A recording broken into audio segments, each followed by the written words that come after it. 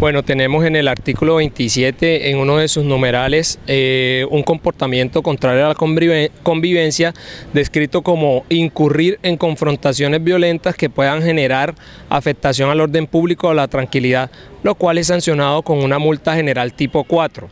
Eh,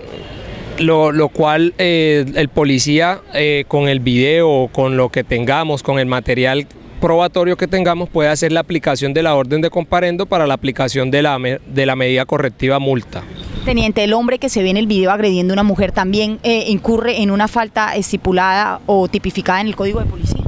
Sí, claro, efectivamente como él está causando una agresión a una población vulnerable que tenemos hoy, que es la mujer, con una población vulnerable por su género, se le puede hacer aplicación porque tenemos en el artículo 40 una protección especial a, a poblaciones vulnerables por su calidad de población vulnerable.